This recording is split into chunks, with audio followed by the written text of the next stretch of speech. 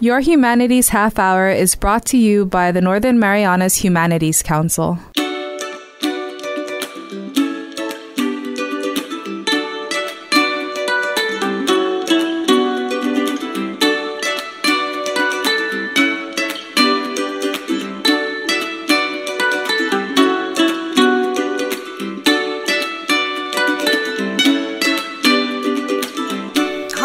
Zantero. Welcome to your Humanities Half Hour. I'm Catherine Perry, and today it's my pleasure to welcome into studio Rosanna Perez Barcinas, a Paul Jacoulet fan and the driving force behind a new exhibit that has just opened at T Galleria, as well as Scott Russell, historian and executive director of the Northern Marianas Humanities Council.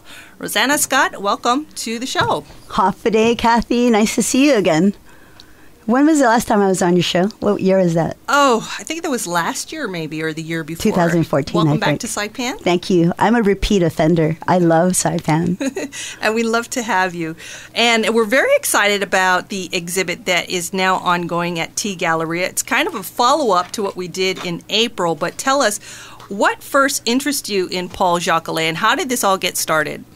Well, Paul Jacoulet, if anybody looks at a single image, is just going to be assaulted by its beauty, the detail, the color. I love, I love his artistry. So I've I've been aware of his images. I know that he moved through Micronesia, um, but I didn't get to know him intimately until 2007, when our local Jacoulet expert, um, Dr. Don Rubinstein, who's an art historian at the University of Guam, um, had been already working with Jacoulet's adopted daughter um, to put on this exhibit, and it was uh, called um, Paul Jacoulet's Vision of Micronesia. While he was already curating that and doing the research, he, because of his relationship with with Jacoulet's daughter, which was decades long, because he's had a fascination with Jacoulet for for a long time the daughter trusted him so much that he gave him, she gave him carte blanche to the collection that she inherited from her dad. Mm. And so, because of that, Don had access to his original notes. And in that research, he found the names of the Rainbow series. Actually, they're called um, the Women of the South Seas, but they're commonly known as the Rainbow series women because of their colors the woman in red, the woman in orange, um, every color of the rainbow for as long as a- anybody has been a Jacoulet collector. The most sought after prints have been the Rainbow Series women. At this 2007 exhibit, I am reading their names for the first time in an art exhibit on Guam. And I'm looking at, wait, this woman was Concepcion Guerrero, the woman in red, this painting was done in t- 1934. I'm like, my mom was born in 1932. This could be my grandma. This is somebody's grandma in Saipan. And I was just like, why aren't we telling the people in Saipan that their moms were the subject of the most sought after collection that Paul Jacoulet has had in his career as an artist? And I wanted to celebrate this, these women with their families in Saipan. And so ever since 2007, I approached Don and I said, Don, I'm l- let's share them with the with their families in Saipan. And I told him I'm going to do what I can to get this exhibit going.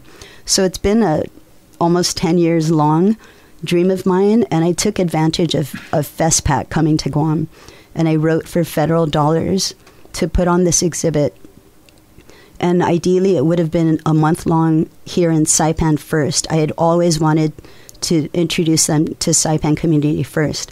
So it was going to be in April and then the whole month of May in Guam. And I was encouraging um, duty free at the time. They were they were like, yes, we want to do it. You can have our venue, and that's all they were going to provide because we didn't have a museum or any space to have an exhibit, art exhibit, like of the magnitude that we wanted. So Duty Free Guam bought into our, our project, and they were going to provide a venue, and that didn't that didn't pan out. Um, but I did get initial grant funding from the Council of Arts and Humanities and the Guam Visitors Bureau as well as a private collector of Jacoulet and a friend of mine, um, Peter Gill, and his wife, Dr. Joan Gill. Um, I got this initial funding to um, do the research, the writing, um, and also curate an exhibit um, that I eventually wanted to do on Saipan. Um, because that didn't happen, um, we approached Jamaica, who asked the Saipan Duty Free to pull this project together.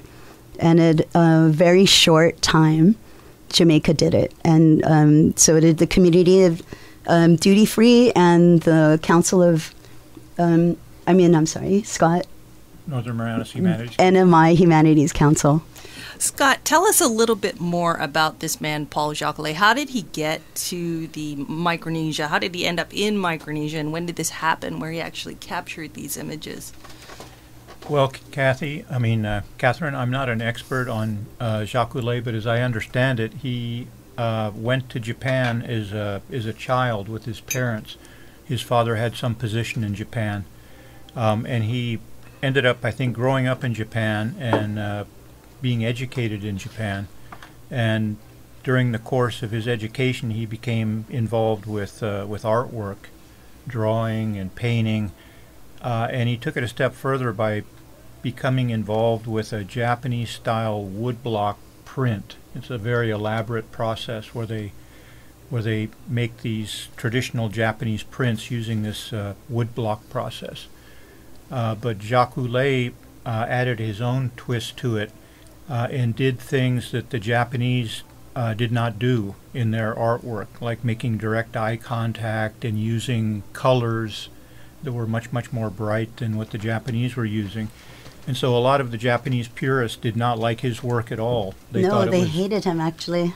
They thought it was a violation of this very rigid uh, Japanese art form. He was in Tokyo, and he describes what is, he's quoted, there was a torrential downpour, like a tropical deluge. And a gentleman with a huge umbrella called out to him and said, Moshi, with his hand motioning so he could take comfort under his umbrella. This gentleman who is holding the umbrella was obviously not Japanese. And so when he asked, you know, where you were from, he found out that this gentleman was half Chuukese, half French. His father was Nederek, I believe, um, who got off of his ship in Pohnpei, I mean, in, in Chuuk and, and stayed there, married, had kids, and now his son was in Tokyo. And so just this happen chance, nice boy from Chuuk brought him in under his umbrella. Um, a couple months later, he was in Chuuk um, and started befriending this family. So he first, his first introduction to Micronesia was through this happen chance occurrence.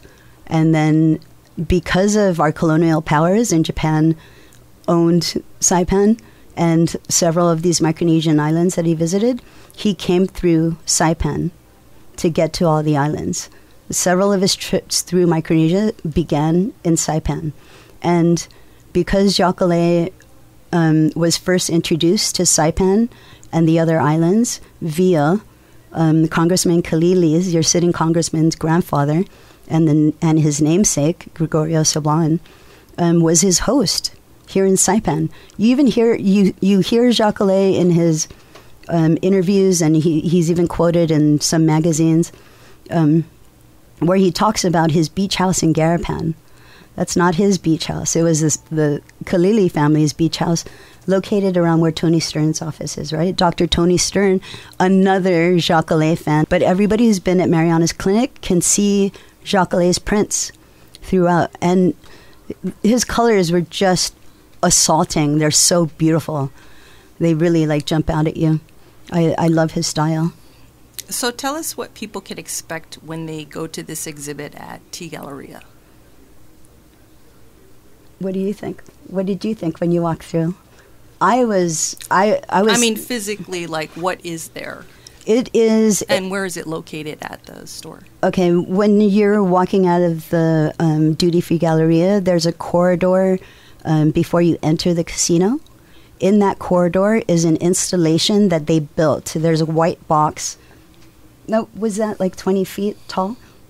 completely white. On one side, it says the event name, Paul Jacquelin Micronesia. As you walk inside in this all white, stark white, white matted, white framed prints of his, you walk in and the colors are assaulting you. It's like just all the images are just so beautiful, and I think anybody who walks through there, I, you know, would would get that feeling like, you know, these the ethnographic the implications for ethnographic history also like I find I mean it's just fascinating like those were actual you know those are the, our shells that he had. Those are our native plants and flowers and there's symbolism to everything he used it's, there's a lot of research that can be spurred from from his artwork so um, Scott, how did uh, the council become involved in the project, and why did you feel it was important to help Rosanna bring this to the Marianas? Well, Rosanna, you know, brought the, the concept to us, and and we discussed it with the board, and our board was very uh, supportive of it. Um, and we thought it was, uh, you know, an excellent opportunity for another type of humanities programming for the public, particularly uh, with respect to, you know, having uh, people from the islands here with surviving, you know, relatives, uh, you know, that we could tie that back into the local community. All right. Well, when we come back, I want to talk a little bit more about your personal thoughts on uh, the exhibit, as well as some of the outcomes from the uh, presentation that was made in April here with Dr. Don Rubinstein. And we'll be back with more after this break. Hafa Adai, this is Eulalia Villagomez of the Northern Marianas Humanities Council. Did you know that you can donate up to $5,000 to the Humanities Council through the CNMI Education Tax Credit Program? Donations from individuals and corporations qualify and can be used to offset your local wage and salary tax, BGRT, and earnings tax. Call our office at 235 4785 to see how you can support humanities programs in our community and obtain a tax credit for your donation. Thank you and Sizus Masi. We're celebrating the 25th anniversary of the Northern Marianas Humanities Council, and we are now accepting nominations for the 2016 Governor's Humanities Awards. Would you like to nominate someone who has made an outstanding contribution to the humanities? The categories are research and publication in the humanities, preservation of traditional cultural practices, preservation of CNMI history, lifetime achievement in the humanities, or outstanding humanities teacher inside or outside the classroom. Nomination forms are available at northernmarianashumanities.org or at our office at Springs Plaza in Gualarai. The deadline to submit is 4:30 p.m. on Friday, October 14, 2016. Do you have a project idea related to the humanities? The Northern Marianas Humanities Council awards competitive matching grants to community organizations, individuals, and ad hoc groups to support humanities projects. We welcome project applications that support the goals and objectives of our strategic master plan. For more information or an application, visit our website at northernmarianashumanities.org. That's northernmarianashumanities.org or stop on by our office at Springs Plaza in Gualarai. Our next quarterly deadline is at 4 p.m. on September 30th. Welcome back to Your Humanities Half Hour. We're speaking today with Rosanna Perez Barcinas, a Paul Jacoulet fan and the driving force behind a new exhibit of his work at T Galleria, and also Scott Russell, historian and executive director of the Northern Marianas Humanities Council. Rosanna, I think people who haven't yet heard are asking, well, who are these ladies in the Rainbow series? So let's go ahead and share that information again for those who have not yet heard or maybe missed the April presentation. And let's also share where people can get in touch with you if they're interested in dialoguing with you about these ladies. So tell us this part of the story. Yes, again in 2007, and at an exhibit on Guam, did we read for the first time that the woman in orange is Concepcion Guerrero um, Miss Guerrero is related to Familian Pon family. She is a great aunt of um, Herman Guerrero. So um, Rosalia Callisto is the woman in orange. Juanita Untalan is the woman in yellow. The woman in green is C- Caterina Tudela. Dolores Amparo is the woman in blue. Mariana Diaz is a woman in violet. I'm sorry, indigo, and Carmen Blanco is the violet woman. And if you have any of these names and you know anybody who has these last names, please contact them and let them know to get in touch with the NMI Humanities Council and friend them on um, Facebook page that they're ma- they're managing, monitoring, um, and it is the Paul Jacoulet in Micronesia. And by the way, are there are these pictures available on the Facebook page? There are images of banners that we had made of them. We have seven foot tall banners of each of the ladies with their names, identifying each of them. Um, based on what you guys have heard, what do you think it means to the families of these people to have this presentation earlier this year and now the exhibit and, and this booklet that you're holding, Rosanna? What what do you think it means to them, or have you actually heard from them, had conversations with any family members of these ladies? I some of the families that I've heard of, it's evoking a lot of discussion on family histories. So I, I love that. Um, we I haven't gotten a direct descendant who said that is my great grandma. Um, and again, we're asking everybody to friend the Humanities Council's Facebook page, Paul Jacoulet in Micronesia, and let us know if you are a direct descendant because we'd like to talk to you. And if there are any stories about these women, we want to hear it. Like, do you, does your family even know that your mom was a subject of such beauty?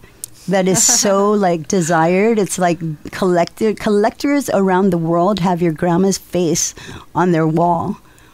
I I, I just want to know That's if pretty cool. Yeah, it is. And did your does your family know that?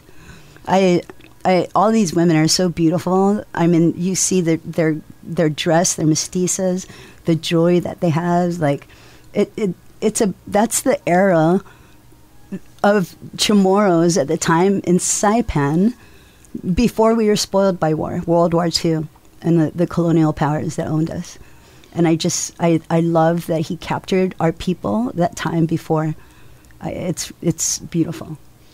I, I want to ask you both individually is there any particular piece of his work that might be your favorite or really stands out to you for a particular reason?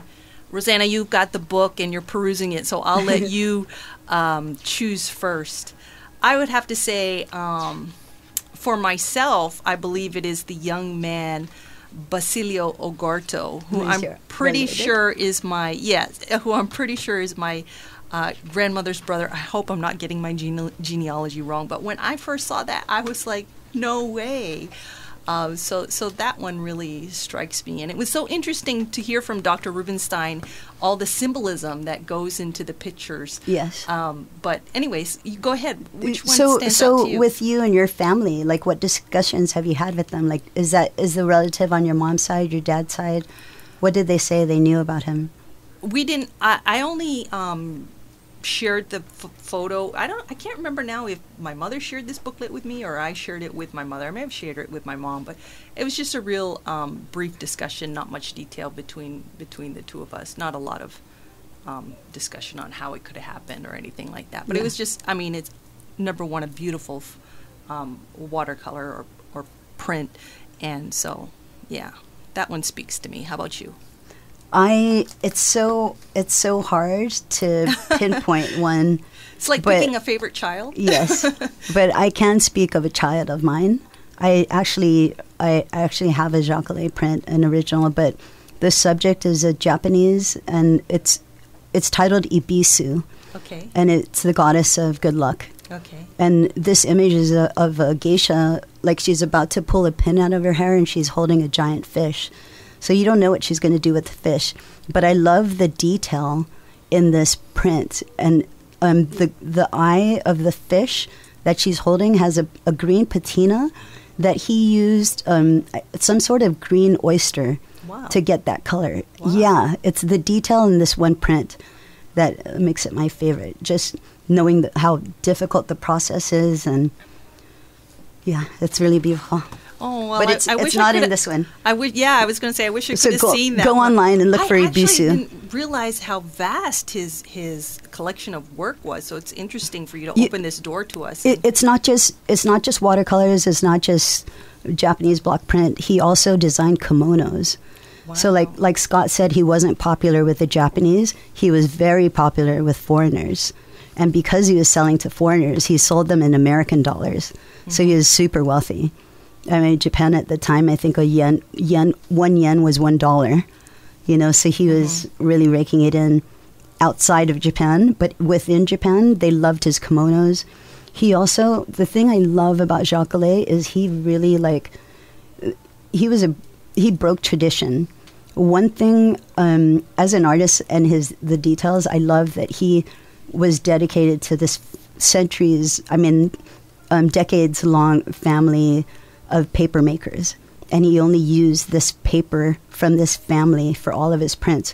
If you hold him up to the air, I mean to the sun, you will see JP watermarked in the Oh, paper. okay. It's yeah, his detail is incredible. But um, yeah, I know I could talk about Jacoulet forever. Scott, you kind of you can't decide. They're all so great, huh? yeah, it's really hard to, to pick out a favorite. Um, I don't know all the images that well, but uh, you know they're all striking. They are. Oh, there's none with. Oh, maybe you would like the one with the fish in it because you're oh a yeah, fisherman. fisherman. We got to find one with And a a fish there. well, let's talk about what's coming I will up that to you. next. Not only are people available to go see the exhibit, Until October 15th. only until October 15th at T Galleria. So please make time to go down, especially if you feel there might be a family member among the collection. But um, there's also something related to the upcoming um, anniversary of the Humanities Council, Scott. Can you give us a little detail on that? Uh, yes, Catherine, uh, we're having our 25th anniversary on the evening of October 28th, which is a Friday. It'll be at the Pacific Islands Club, um, starting at uh, 6 p.m. I believe it runs until uh, 10. Uh, we'll be having a great uh, series of, of activities during the during the gala dinner. We will have a keynote by Kathy Jetñil-Kijiner, uh, the Marshallese poet and um, environmental activist. Uh, we'll be having a musical tribute to uh, the late uh, Dave Peter. And uh, we'll also be having a uh, silent auction of works of art and cultural items. And we're hoping to be able to offer the images, the framed images of Jacoulet that are now on exhibit. We're hoping to offer those um, at the uh, at the silent auction.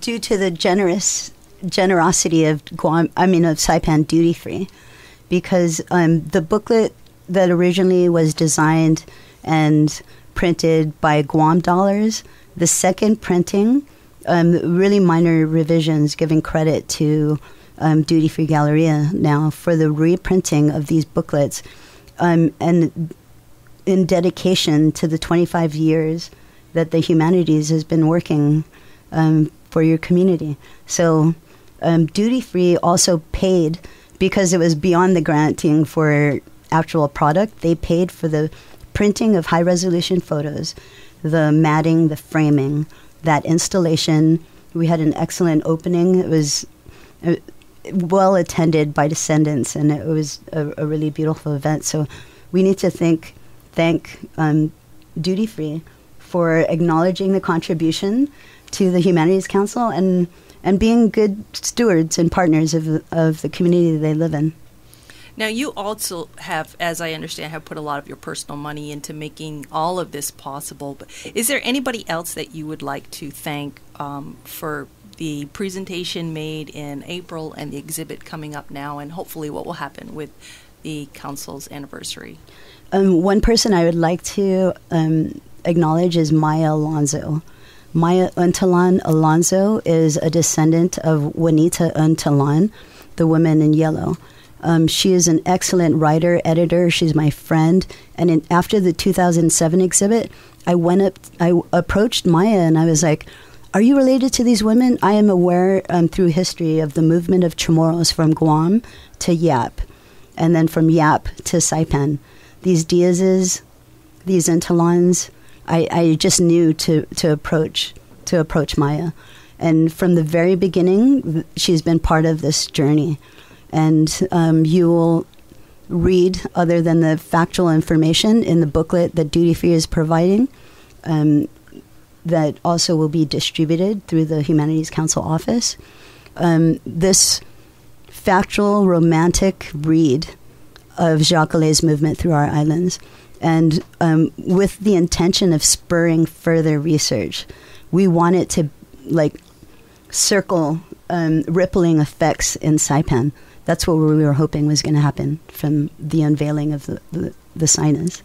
Well, I really hope that anybody who is not yet a Paul Jacoulet fan based on all the exposure that he's been getting in recent years, will be one following our chat today. And we'll take time to go out to the exhibit at T Galleria no later than October 15th of this year. That's how long it will be there. But I wanted to offer you both an opportunity for, for final thoughts before we go. Scott? Uh, well, Kat, I'm just uh, happy that we had the opportunity to let the public know about the exhibit and the fine work uh, that we had in collaboration with uh, Duty Free and also from uh, Rosanna, all of her hard work and dedication to make this this actually happen. Um, these are the kind of partnerships that the council likes to form, and they really help to amplify our work. Which wasn't hard at all because I love learning about our history, and um, that my final thought is just thank you to the Saipan community for always welcoming welcoming me every time I'm here continuing my love affair with, uh, with our, our people. Thank you. Thank you so much. Our guests today have been Rosanna Perez Barcinas and Scott Russell talking about the ongoing Paul Jacoulet exhibit at T Galleria. Please make time to come out and see this exquisite artwork featuring uh, beautiful ladies of our islands. This has been your Humanities Half Hour. I'm Catherine Perry. This program was supported by a We the People grant awarded to the Northern Marianas Humanities Council from the National Endowment for the Humanities. Any views, findings, conclusions, or recommendations expressed in this program are those of the participants and do not necessarily represent those of the National Endowment for the Humanities or the Northern Marianas Humanities Council.